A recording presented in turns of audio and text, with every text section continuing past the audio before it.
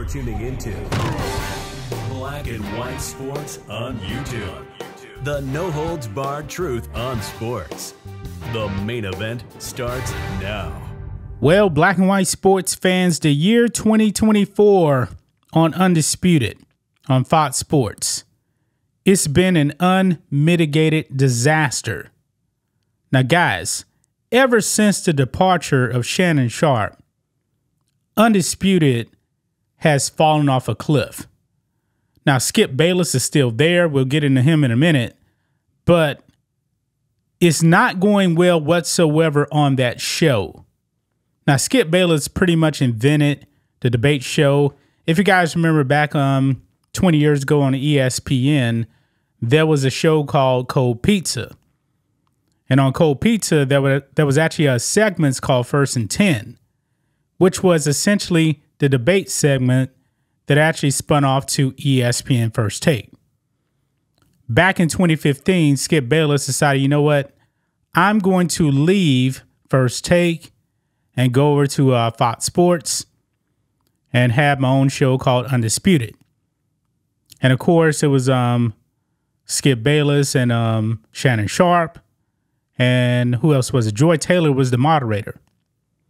Now, guys, after nine years, Skip Bayless is out at Fox Sports.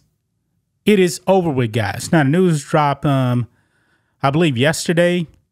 Kind of caught me by surprise, but in a way, I kind of expected that uh, Skip Bayless would not last there. Because when I mean, guys, the show fell off a cliff, it fell off a cliff. Now, if you guys remember when uh, Shannon Sharpe left after the um, the NBA Finals last year, the show went off the air. Apparently, because Fox was actually having problems finding anyone to even work with Skip Bayless. Eventually, they came back, and it hasn't been the same since. It's been a disaster, guys.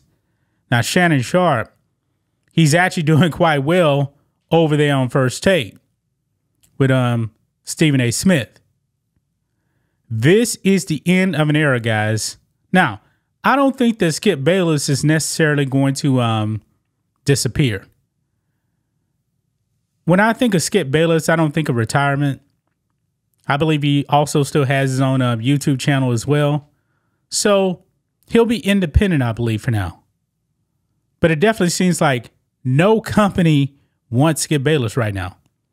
Let's get into it, guys. Make sure you guys like this video, subscribe to the channel, become a channel member, member live stream every single Friday at 10 a.m. Central Standard Time. And you guys can also support us by becoming a member on blackandwhitenetwork.com or supporting us on locals for just $5 per month. Links are in the description. Here we go, guys. Check this out. This is on the New York Post here. Skip Bayless leaving undisputed in FS1 bombshell. It's over, man. Now, the show apparently is going to continue on, but as bad as the ratings are, man, I don't know how this show survives. But it says here it is the end of an era on FS1. Skip Bayless is leaving his role as co host of Undisputed at the network after eight years the Post has learned. His final show will be later this summer. Bayless referred to the Post referred the Post to uh, Fox Sports PR, which declined to comment. Man, it is the second consecutive summer that one of the pillars of the program has departed, as Shannon Sharpe left following the NBA Finals last year. The new iteration, which featured a rotating group of panelists, with Bayless, including Keyshawn Johnson, Michael Irvin, Richard Sherman, Rachel Nichols, and Paul Pierce, did not capture audiences as successfully as had Bayless and Sharpe debating one on one for the previous seven years. Yeah. It's probably, guys, just too many cooks in the kitchen and not enough consistency there as well. Plus, you have no moderator whatsoever. I mean, it's pretty much just Skip Bayless and whoever else is uh, coming on, but nobody wants to watch, man. It was going to be an uphill climb as Sharpe was arguably as compelling a debate foe as Bayless as Stephen A. Smith had been on First Take during his time at ESPN. The show took a couple of months off last summer following Sharpe's departure and never regained the momentum. Nope. Dead, man. It was absolutely dead. When it when it returned, the format was a little bit wonky. Instead of a moderator, a role formerly fulfilled by Joy Taylor, Jenny Taft, and Jen Hill, Bayless introduced the topic and then might be the third or fourth person to chime in with his opinion.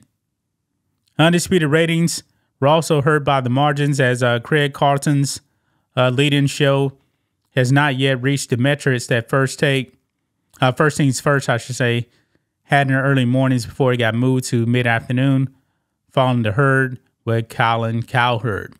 Now look here, guys. It's so bad for Skip Bayless here. Apparently, ESPN does not even want him, guys. Yeah. Yeah, ESPN doesn't want him. Uh, look here. This is how bad, though, it is because Skip Bayless, by the way, in 2021, he signed a four year contract extension. He hasn't even fulfilled that contract. Four years, 32 million. But he's done. I'm assuming next month Skip Bayless is going to um, leave. Look at this, guys. Right here it says the show averaged 48,000 viewers this past spring, equaling the smallest audience since the show returned uh, last September following Sharpe's exit. 48,000. That's awful, man. That is absolutely terrible. Now, look here. It also apparently won't be his his uh, old stop, stomping grounds of ESPN, as network quickly released a statement to front office sports Michael McCarthy, indicating the network won't be a suitor for Bayless's talents. Uh, quote, we're set with the current first take rotation and wish Skip the best on his um, future endeavors, and ESPN's spokesperson told Front Office Sports.